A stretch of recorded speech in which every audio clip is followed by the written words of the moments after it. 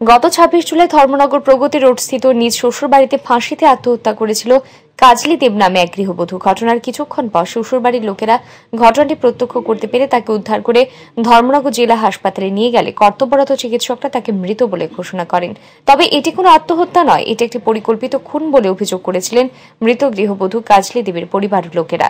এই অভিযোগের ভিত্তিতে ঘটনার পরের দিন মৃত গৃহবধূর বাবা মা ধর্মনগর থানায় কাজলি শ্বশুরবাড়ির লোকেদের বিরুদ্ধে হত্যার মামলা দায়ের করেছিলেন। তাদের এই অভিযোগের ভিত্তিতে ধর্মনগর থানার পুলিশ কাজলির দেওয়ার বিপ্র দাসকে গ্রেফতার করেছিল। তবে কাজলির স্বামী বিশ্বদাস অসুস্থ হয়ে ধর্মনগর জেলা হাসপাতালে চিকিৎসাধীন থাকায় তাকে মামলার কিছুদিন পর হাসপাতাল থেকে ছাড়া পাওয়ার পর গ্রেপ্তার করেছিল পুলিশ।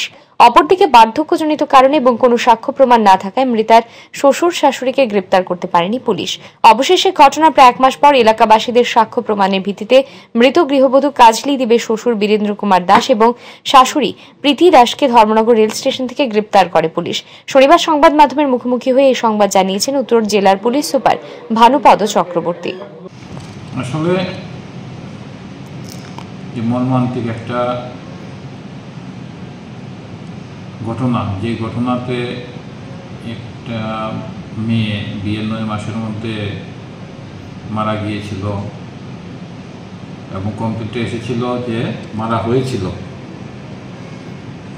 সেই ঘটনার তদন্তে আমরা প্রথম অবস্থাতে স্বামী এবং স্বামীর ছোটো ভাই বোনের দেবরকে অ্যারেস্ট করেছিলাম। এলাকাবাসী আমার কাছে এসেছিলেন। অনেক সাক্ষ্য প্রমাণ দিয়েছেন এলাকাবাসী যে এই মামলাতে শ্বশুর মানে যে মৃতা ভিকটিম ভিকটিমের শ্বশুর এবং শাশুড়ি, ওনারা এই মামলাতে জড়িত। আমিও বাড়িতে ভিজিট করেছিলাম। আমরা খুব চেষ্টা করছিলাম গত কিছুদিন ধরে শ্বশুর এবং শাশুড়িকে অ্যারেস্ট করার জন্য। যে আমাদের কাছে সাক্ষ্য প্রমাণ আছে সেটার উপর ভিত্তি করে। এবং প্রচলিত যে আইন কানুন আছে, সেই আইনের উপর আইন কানুন মেনে আজকে সকালে আমরা ধর্মনগর রেল স্টেশন থেকে ওনাদের দুজনকে আমরা অ্যারেস্ট করেছি এবং ওনাদেরকে কোর্টে প্রডিউস করা হয়েছে। Bureau report, R E news.